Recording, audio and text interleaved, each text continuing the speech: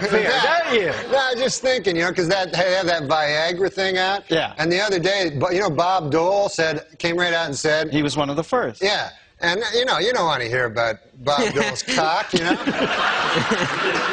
I mean, President Clinton's cock, Bob Dole's cock, what the hell? But mostly, an old man like that, an old man, you don't want him to have a super hard cock. You know what I mean? Why? Why? Because an old man, you want him to be uh, got a pipe going, a newspaper, the dog at his feet there.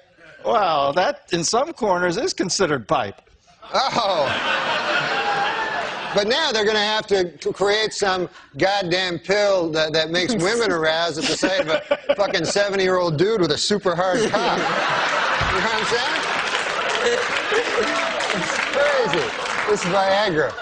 It's insane. And you know what it's for? Impotent people. All right, it's for impotent guys. So get this. The, the, I read this. The, the, the, the pill can make your cock hard for four hours. Right. So now, who has the four-hour hard cock? The impotent guy. the rest of us are fucked. Me and you. Me and you got our regular cocks. Meanwhile, fucking Spade is, uh, you know. Prefer to Spade. Oh man, I didn't see it. I didn't see it coming. Dude, I know you didn't. He brought it all around and then a vicious rip kick into his best friend's gut. Once there's too much cock talk, I try to just zone out for a minute till it goes back the other there- way. if there's too much cock talk, this guy has fevered nightmares all night. Dreams, I mean, like sweaty, fevered dreams from the, from the cock talk that's been all over his head. Cock, Why, cock, why cock. bury me twice? He's killing me. No, he's a good man. That erased it. All right. No, he's a good man. Who cares? After all that, that's the, that's the, that's the whiteout he puts on. Yeah, I know, it's awful. After he talks about you doing chin-ups on cock for 18 minutes. he goes, no, he's a good guy. If you're gay, he's a completely straight guy. He gets a lot of ladies. You know that about him with the ladies. Don't say ladies. Women, girls. Okay, thank Yeah. you. Ladies, what are we, fucking on an FM station here? He's Don Cornelius. But these gay guys, man, I was reading, you know about the. There we go. These gay guys. I haven't even said hi yet. All right. Tell me, tell me what it is with these gay guys. I know, I'm already. I just read this thing about the Michael, uh, George You're reading Michael. a lot, aren't you? Yeah, I, read, I got a little time off. Now I read the newspaper.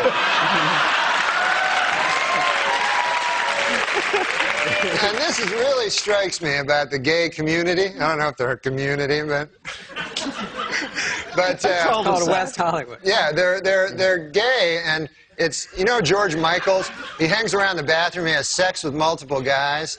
This is No, like, no, no, no, no way. You got to get it right. I, hangs around a bathroom, Right. and it was uh, described as a lewd behavior, but I, I don't remember sex with numerous guys. well, what Is is that he, what you took away from it? what does he do? What were you in the next stall?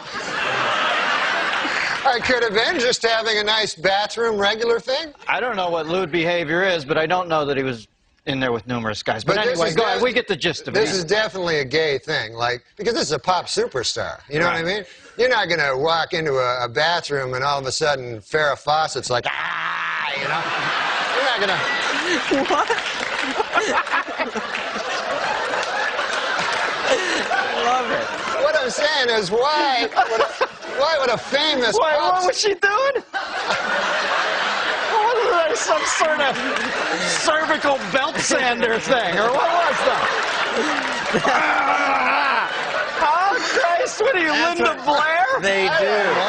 That's what they do. Right? That's what they. That's what ladies that I know do.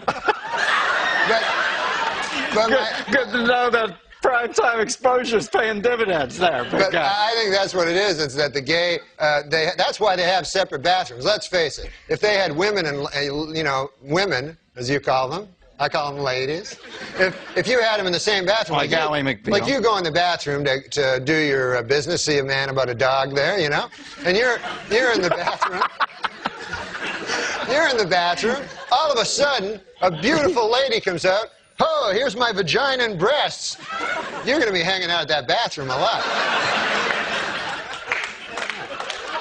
So I don't blame anybody for anything.